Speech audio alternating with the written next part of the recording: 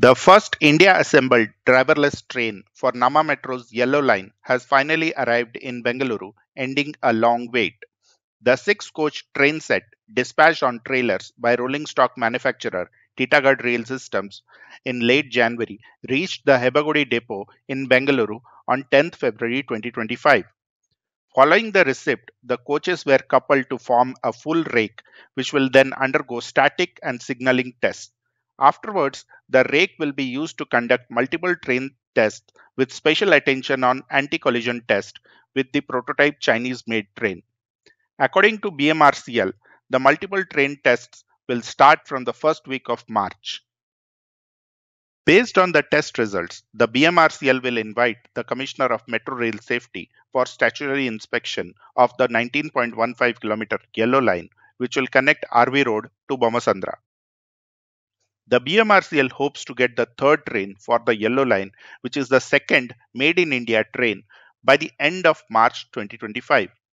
In addition, Titagarh Rail Systems has promised to deliver another train, fourth train set of the Yellow Line, by April 2025, with plans to ramp up the production to deliver two trains per month by September.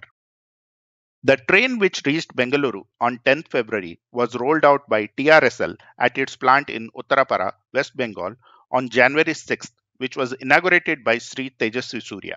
However, the company took several more weeks to dispatch the train to Bengaluru.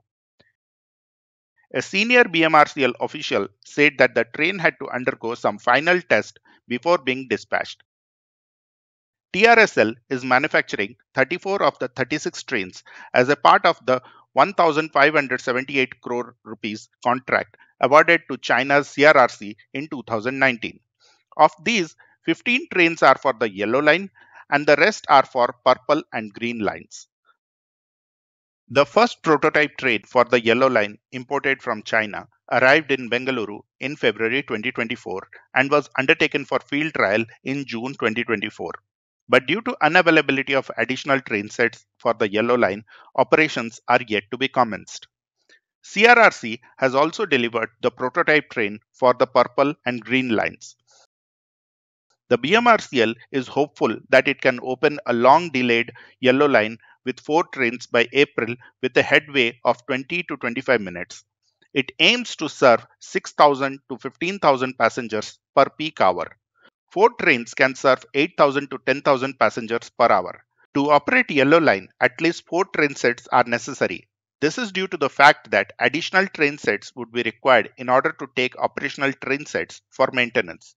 With only two or three train sets, it will not be practical to operate Yellow Line.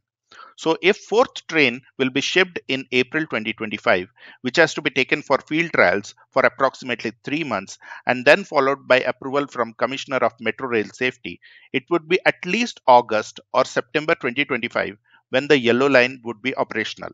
But this is subjected to fact that the train sets are delivered on time by Titagarh Rail Systems. Please provide your comments. What do you think when the yellow line operations will be commenced? Thanks for watching. Please like the video and subscribe to the channel for more such contents. Thank you.